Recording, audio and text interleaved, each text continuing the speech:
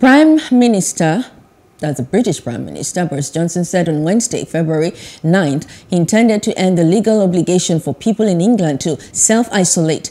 That's if they test positive for COVID-19 later this month when he sets out the government's strategy for living with the disease.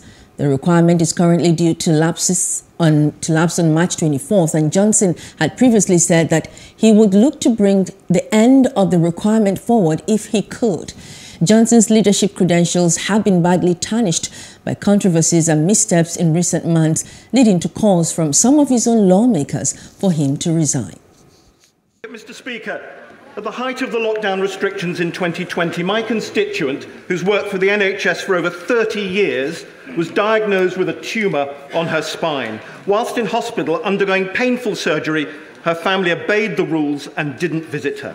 Mr. Speaker, in the last few minutes, a photo has emerged of the Prime Minister in Downing Street on the 15th of December 2020, surrounded by alcohol, food, and people wearing tinsel. It looks a lot like one of the Christmas parties he told us never happened. So, for the sake of my constituent and the sacrifices she made, will the Prime Minister be referring this party to the police, as it's not one of the ones already being investigated? He's, I'm afraid, uh, first of all, uh, first of all, I'm very sorry about his uh, constituent and uh, for the difficulties that she's, uh, she's been through. Uh, and I understand, I understand very much her feelings, Mr. Speaker. but in what he has just said, I'm afraid he is completely in error.